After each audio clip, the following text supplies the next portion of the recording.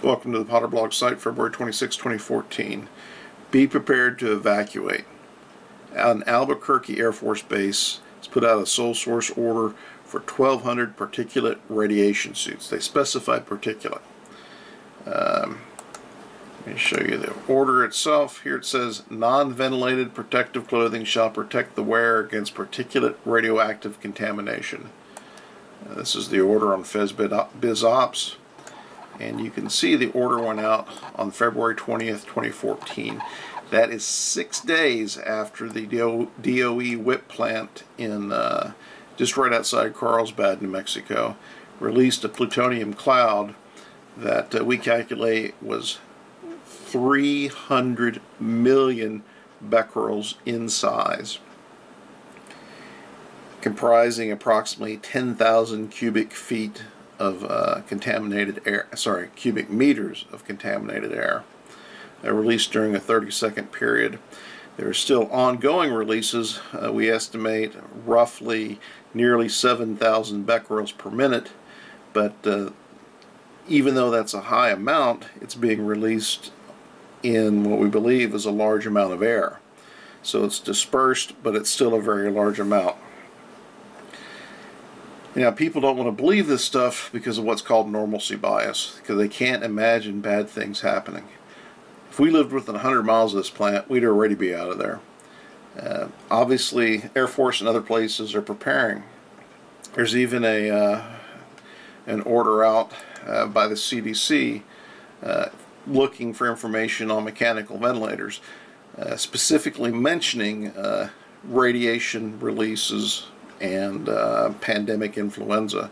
They're wanting 5,000 ventilators per company, non-surge. We go into that in much more detail in another post. We'll have a link to that on our blog site. Uh, this, it's also called Bug Out Alert. But um,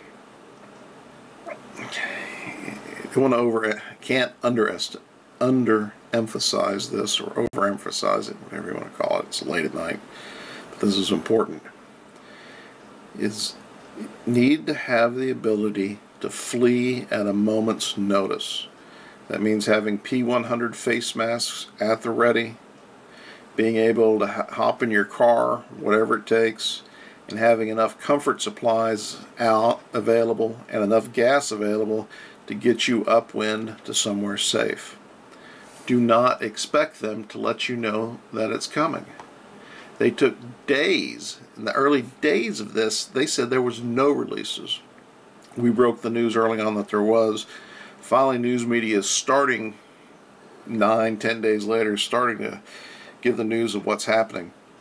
But there, there is a continued risk of explosion here from uh, radiolysis, which is uh, uh, radiation breaking down uh, other chemicals inside the plant from hazardous waste, water, all sorts of different stuff, and making explosive uh, gases.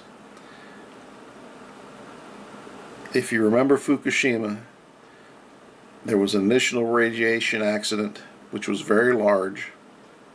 They tried to save the plant so that they could probably attempt to start it up again in the future. Then the plant blew up, giving us three meltdowns, whatever else that happened there. The WIPP site seems to be taking the same task. They're trying to save the facility for future use. Preventing releases and stopping further danger is not job one. This place could go again and in a much worse fashion. Be prepared.